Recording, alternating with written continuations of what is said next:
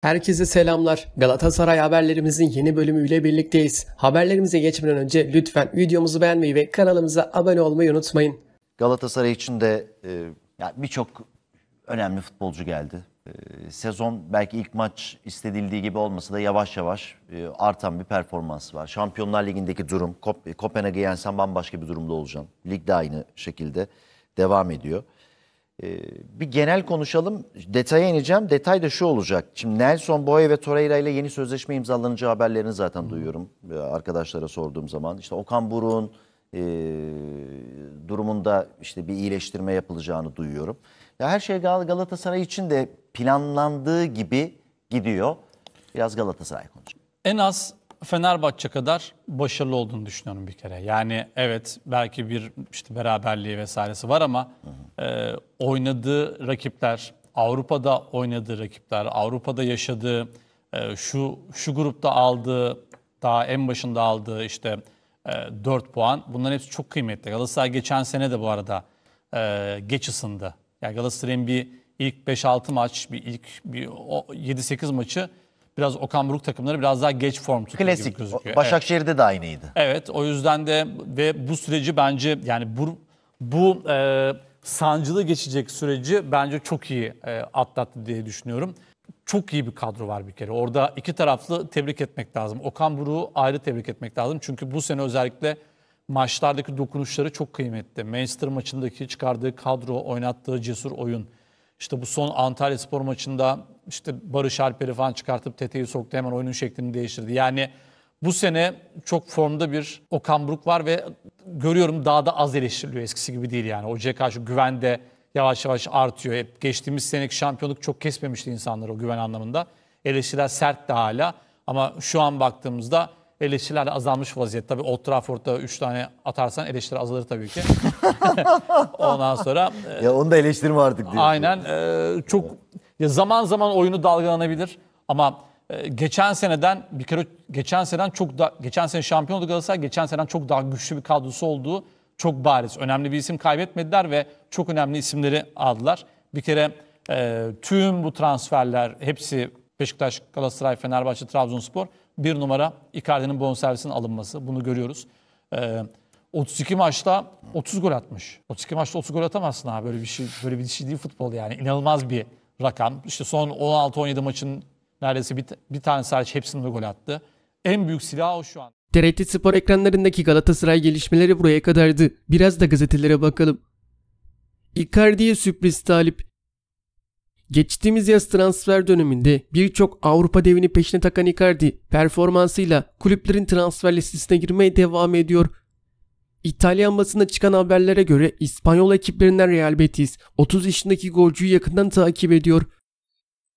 Celso Merceto adlı internet sitesinde bulunan haberde Icardi için şu ifadeler kullanıldı. Icardi Türkiye'de gol üstüne gol atmaya devam ediyor ve bir kez daha önde gelen kulüplerin ilgisini çekiyor. Real Betis gelecek sezon için onun listesine aldı. Icardi Real Betis'in gol ve asist garantisi olacak başlığı atıldı. İspanyol ekibin Arjantinli futbolcu için devre arasında sarı kırmızılı takımın kapısını çalması bekleniyor.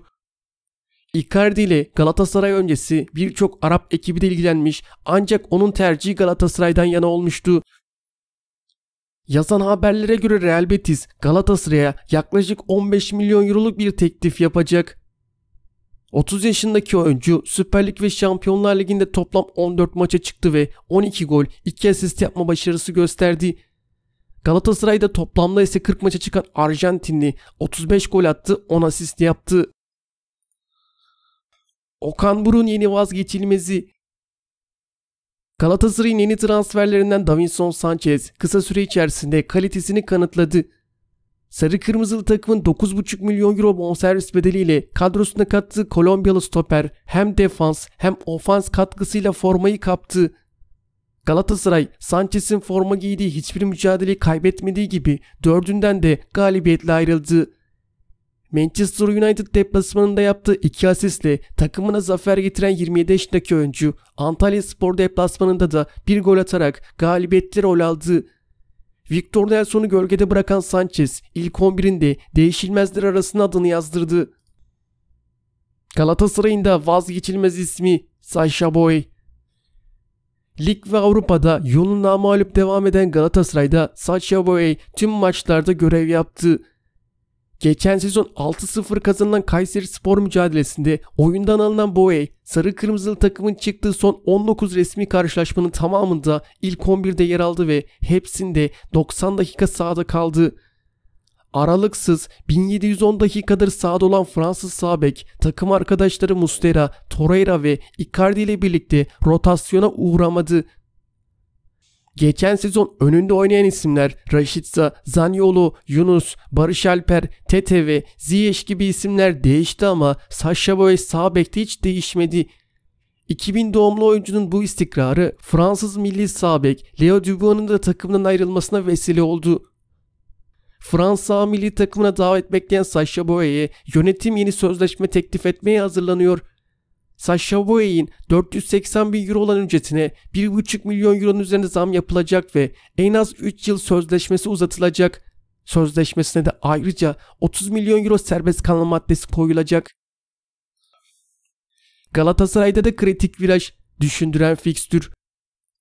Sezona iyi bir başlangıç yapan hem Süper Lig'de hem de Şampiyonlar Ligi'nde yoluna namuhalip olarak devam eden Galatasaray milli maçlar nedeniyle lige verilen arada dinlenme fırsatı buldu. Ancak ara sonrası geri dönüş Cimbom için hiç de kolay olmayacak. Sarı Kırmızılı ekibi Ekim ayının son dönemi ve Kasım ayı başında çok zorlu bir fikstür bekliyor. Aslan'da 18 günlük periyotta birbirinden zorlu 5 mücadeleye çıkacak.